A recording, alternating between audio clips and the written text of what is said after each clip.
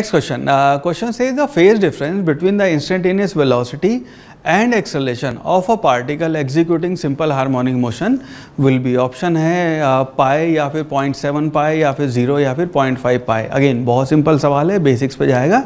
अगर मान ले हम ये कहते हैं कि हमारी इक्वेशन है x is equal to A sine of omega T ये आपकी पार्टिकल की डिस्प्लेसमेंट की इक्वेशन है इसको जब हम डिफ्रेंशिएट करेंगे तो हमारी जो वेलोसिटी आएगी उसको हम लिख सकते हैं D X by D T so velocity हो जाएगा आपका ए ओमेगा साइन का कॉस बन जाएगा so this will be cos omega T right इसको फिर डिफ्रेंशिएट करके अपना एक्सलेशन आ जाएगा D V by D T so that will be equal to minus A omega square sine of omega T. Now हमें बताना है कि इस वेलोसिटी और इस एक्सलेशन के बीच में फ़ेज़ डिफरेंस कितना है। नाउ इस फ़ेज़ डिफरेंस को देखने के लिए पहले हम दोनों को सेम फॉर्मेट में कन्वर्ट करेंगे। सो so, इस इसको अगर वेलोसिटी को हम लिखेंगे कॉस है इसको हम लिख लेते हैं A omega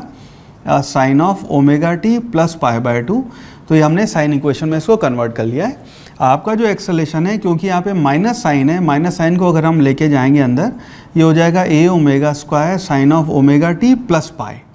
यह आपकी आ, तीनों को हमने सेम फ़ेज़ में लिख लिया। तो x